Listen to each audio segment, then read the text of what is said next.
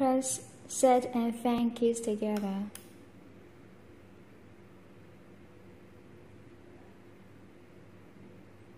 Of the keys, press set and fan keys together again.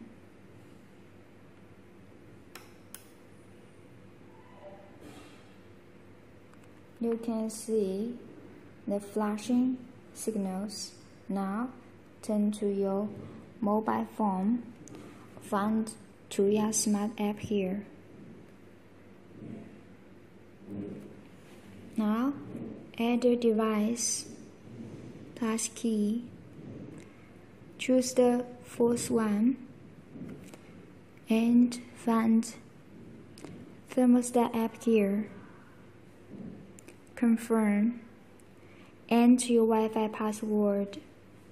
Confirm.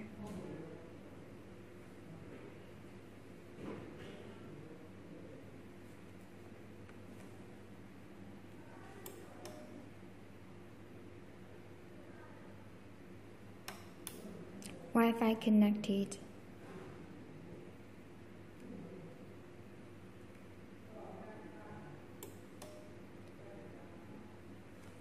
Done.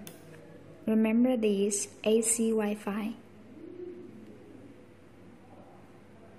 Now you can adjust temperature